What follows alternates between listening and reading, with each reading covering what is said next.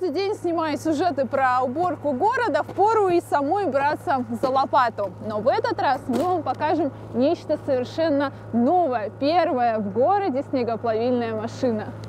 Как ясно из названия, это установка, в которой топится снег. Устроена она просто. Два баллона газа, генератор и электрозажигание. Внутрь емкости закидывается снег, песок оседает на дне, а через трубу в ливневку сливают очищенную нехитрым способом воду. Нашли в Саратове на производстве, э, заказали два месяца срок изготовления, и нам прислали. Стоимость ее была два года назад 300 тысяч рублей вместе с доставкой. Вот, но а полноценно стала работать только в этом году, когда вот пошел, э, скажем, такой снег хороший.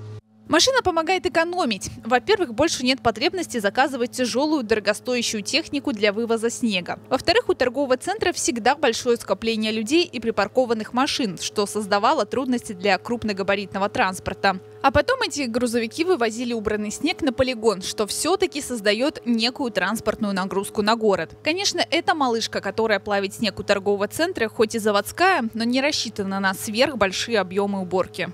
Я считаю, в принципе, для города, если будет э, какая-то, может быть, одна большая машина, да, как в Москве и в Санкт-Петербурге, то, в принципе, это бы сняло большую нагрузку с центральной части города.